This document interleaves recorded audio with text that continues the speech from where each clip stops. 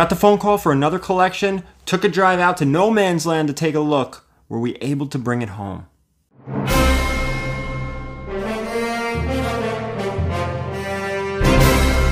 All right, guys, before we get into this, please remember to hit the notification bell with that subscription button. You definitely want the notification bell hit because you want to know when videos come out. Videos are put out Mondays and Thursdays, but shorter videos do come out midweek. And I also go live sometimes on the weekends during the week to open mystery boxes, auctions, or just to hang out.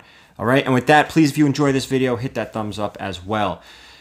Now, these things always start the same way. I say, the call came in, and the call did come in. And I get a lot of questions how do people know? How do people know? How do people know? It's all word of mouth at this point. People just know people who know people who sold comics, who sold them to me, and it's just a snowball effect. So, again, I got the call. This one was a little bit of a drive, not too far, but it just seemed like it was in the middle of nowhere. I drove to a trailer behind a house. Kind of weird I don't know if they owned the house and the trailer. I don't know what was going on. Or maybe the house owned the trailer and rented it out to this guy. I don't know. This dude does clean outs. So, you know, we got to keep that connection. And um, here you go. All right, guys, got another call.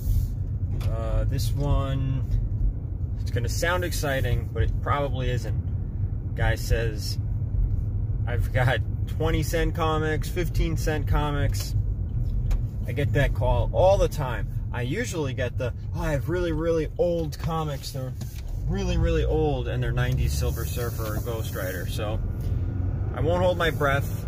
We'll see how it goes. And then, uh, you know, you guys will see what's in there.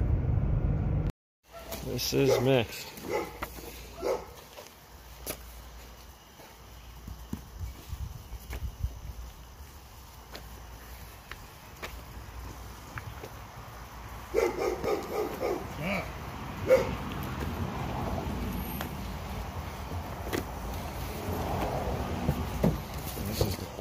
Shit, with some order in there too.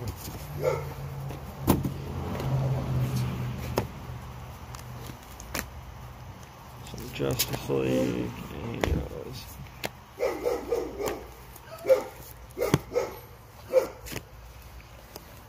Oh man. Busy or not? Extremely. Mm-hmm.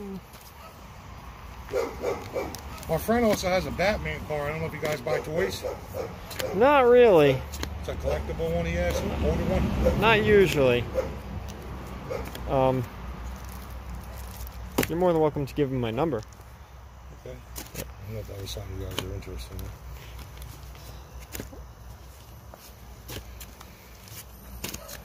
Talk about random. The only thing these have in common is they're mostly DC. Yeah.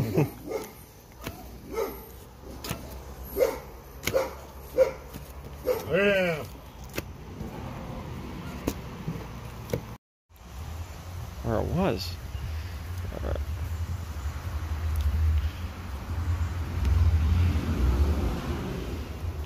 So I'm hoping to find a home run. What do you do if you find a home run? How does that work? It means I give you more money. Oh, okay.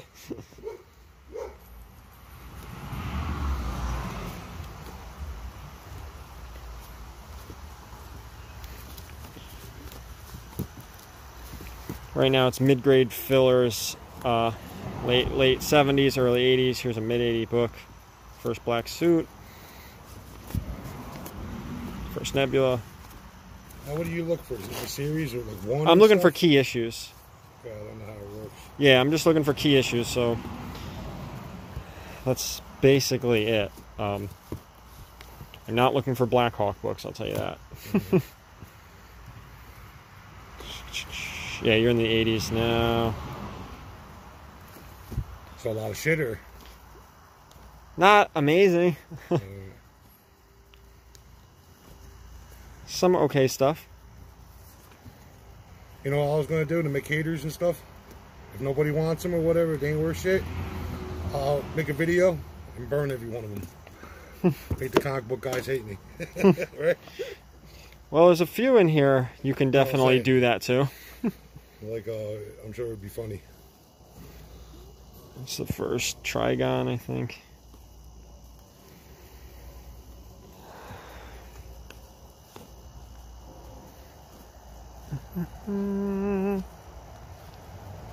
First McFarlane professional work.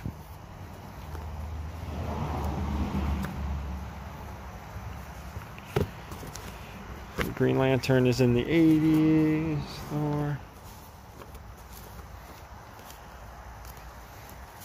say it's kind of random.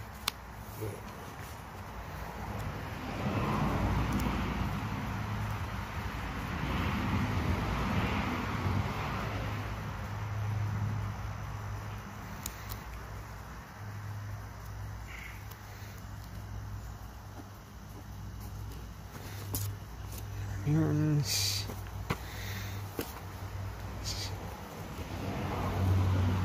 let's flip all these around. No, no. Blue Devils.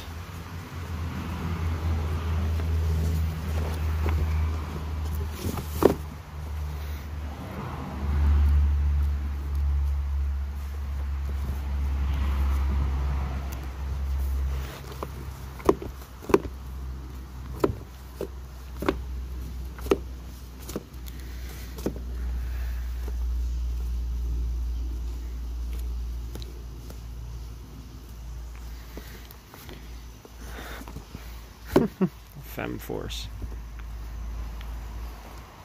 Are you using the phone to see? No, I record videos. Oh.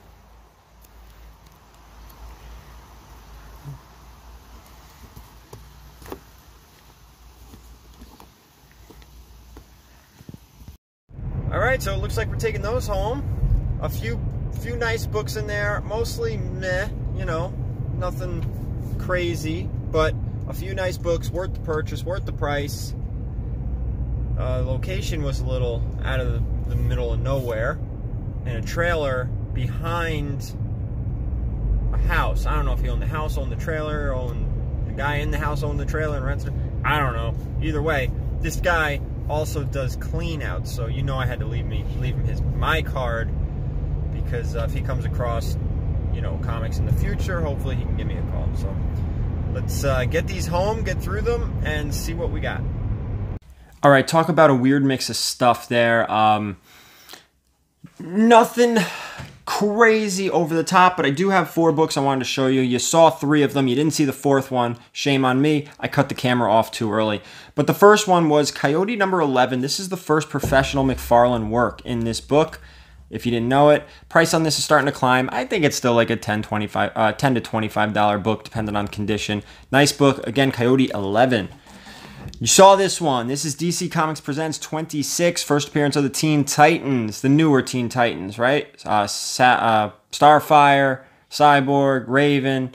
This is their first appearance. DC Comics Presents 26. And this book is probably not going to go to CGC. Maybe we'll auction it one day. Probably mid grade, like a 5.0, but still a really nice key to have. A really nice key to have. Next up, Amazing Spider Man 252.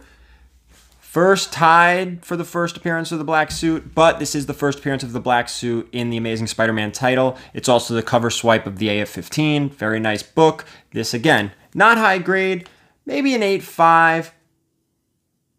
I mean, maybe a 9 0. It's going to be a stretch. Maybe we'll send this out for fun just to see what happens, but uh, it's going to be a stretch. No, nowhere near a 9.8, which you know how I feel about the modern books. I like to get them in a 9.8, especially a book like this.